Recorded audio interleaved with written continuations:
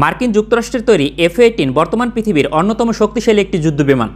এই যুদ্ধবিমানটি বাংলাদেশ এয়ারফোর্সের এমআরসি টেন্ডারে প্রতিদ্বন্দ্বিতা করছে। তবে এফ এইটিন পূর্বের তুলনায় আরও বেশি আধুনিকায়ন করে সার্ভিসে আনা হচ্ছে মার্ক থ্রি ভার্সনে। যুদ্ধবিমানটি সম্পর্কে গুরুত্বপূর্ণ তথ্য উৎপাদনকারী প্রতিষ্ঠান বোয়িং উনিশশো নিরানব্বই সালে সর্বপ্রথম সার্ভিসে যোগদান করে। মার্কিন নৌবাহিনীর সবচেয়ে গুরুত্বপূর্ণ হাতিয়ার এফ এইটিন ফাইটার।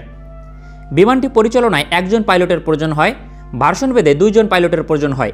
খালি অবস্থায় ওজন চোদ্দ হাজার পাঁচশো বাহান্ন কেজি, সর্বোচ্চ টেক অফ ওয়েট উনত্রিশ হাজার নয়শো বত্রিশ কেজি ইন্টারনাল জ্বালানি ক্যাপাসিটি ছয় হাজার ছয়শো সাতষট্টি কেজি, যা প্রতিদ্বন্দ্বী রাফালে কিংবা টাইফুনের তুলনায় বেশি, এবং এক্সটার্নাল চারটি ফুয়েল ট্যাঙ্ক বহন করতে সক্ষম, যা ছয় হাজার কেজি জ্বালানি বহন করতে সক্ষম, ফলে আরও বেশি রেঞ্জ বৃদ্ধি পাবে।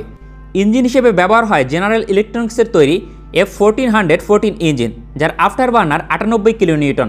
সর্বোচ্চ গতি ম্যাক ওয়ান পয়েন্ট সিক্স বা এক হাজার নয়শো পনেরো কিলোমিটার রেঞ্জ দুই হাজার তিনশো ছিচল্লিশ কিলোমিটার, ফেরি রেঞ্জ তিন হাজার তিনশো কিলোমিটার। তবে আপকামিং মার্ক থ্রি ভার্সনে আরও শক্তিশালী ইঞ্জিন ব্যবহার করা হবে, ফলে গতি রেঞ্জ সহ বিভিন্ন সক্ষমতায় অনেক বৃদ্ধি পাবে। সার্ভিস সেলিং পঞ্চাশ হাজার ফিট যা পরবর্তীতে আরও বেশি হবে। সব মিলিয়ে এফ এইটিন বর্তমান পৃথিবীর পাঁচটি সেরা মাল্ট্রোল কম্বাট এয়ারক্রাফটের মধ্যে একটি, যা বহু যুদ্ধক্ষেত্রে পরীক্ষিত। মার্কিন যুক্তরাষ্ট্র যতগুলো যুদ্ধে অংশগ্রহণ করেছে দু হাজার সালের পরবর্তী সময়, তার প্রতিটিতে এফ এইটিন ফাইটারের ভূমিকা ছিল সবচেয়ে গুরুত্বপূর্ণ। তার পাশাপাশি এর আর্মামেন্ট প্যাকেজ অনেক বৈচিত্র্যময়। যদিও মার্কিন যুক্তরাষ্ট্রের প্রতিটি যুদ্ধবিমানের আর্মামেন্ট প্যাকেজ বৈচিত্র্যময়, কিন্তু এফ এইটিন প্রথম সারিতে থাকবে। অস্ত্র বহনের জন্য এগারোটি হার্ড পয়েন্ট রয়েছে, যা অতিরিক্ত হ্যাঙ্গার যুক্ত করে আরও বৃদ্ধি করা সম্ভব। সর্বোচ্চ আট হাজার কেজি গোলাবারুদ মিসাইল কিংবা বোমা বহন করতে সক্ষম।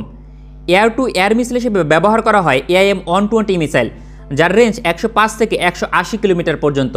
পাশাপাশি শর্ট রেঞ্জের এয়ার টু গ্রাউন্ড মিসাইল হিসেবে ব্যবহার করা হয় এজিএম সিক্সটি ফাইভ এবং air to ground cruise missile হিসেবে ব্যবহার করা হয় হারপুন এন্টিশিপ মিসাইল, ভার্সন বেদে রেঞ্জ দুশো সত্তর কিলোমিটার পর্যন্ত। তবে এই এন্টিশিপ মিসাইলের কোয়ালিটি বর্তমান সময়ের জন্য উপযোগী নয়। প্রতিপক্ষের রাডার এবং এয়ার ডিফেন্স ধ্বংসের জন্য ব্যবহার করা হয় AGM eighty eight anti radiation missile. যার রেঞ্জ একশো পঞ্চাশ কিলোমিটার পর্যন্ত। তবে এর সবচেয়ে গেম চেঞ্জার অস্ত্রটি হচ্ছে AGM one fifty eight very long রেঞ্জের ক্রুজ মিসাইল যার রেঞ্জ এক হাজার কিলোমিটার পর্যন্ত। এছাড়াও বিভিন্ন ধরনের লেজার গাইডেড নন গাইডেড বোমা ব্যবহার করতে সক্ষম। রাডার হিসেবে ব্যবহার হয় এপিজি সেভেন্টি নাইন যার রাডার রেঞ্জ একশো পঞ্চাশ কিলোমিটার পর্যন্ত। দুই স্কোয়ার মিটার টার্গেটকে শনাক্ত করার ক্ষেত্রে। এটি পৃথিবীর অন্যতম শক্তিশালী এইএস রাডার তবে এফ এইটিন জি ভার্সন অর্থাৎ গ্রাউলার ভার্সনকে বেশিরভাগ বিশ্লেষক মনে করেন পৃথিবীর সেরা ইলেকট্রনিক ওয়ালফেয়ার ক্যাপাবল যুদ্ধবিমান তবে কখনো কখনো রাফালের সঙ্গে যৌথভাবে বলা হয়।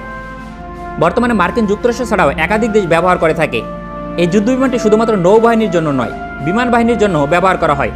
যেমন Switzerland, Finland, Australia, Malaysia, Canada, কুয়েতের মতো এয়ারফোর্স ব্যবহার করে থাকে। তবে বাংলাদেশ এয়ারফোর্সের টেন্ডারে জয়লাভ করার সম্ভাবনায় এফ এইটিন অনেক পিছিয়ে থাকবে। শতাংশ বিবেচনায় মাত্র দশ শতাংশ। কারণ মার্কিন যুক্তরাষ্ট্রের সঙ্গে নিরাপত্তা চুক্তি করা বাংলাদেশের জন্য অত্যন্ত কঠিন হবে।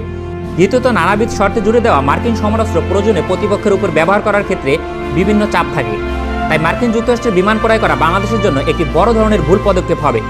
তবে নিঃসন্দেহে, এটি পৃথিবীর অন্যতম শক্তিশালী পাঁচটি মাল্টিরোল কম্বাট এয়ারক্রাফটের একটি।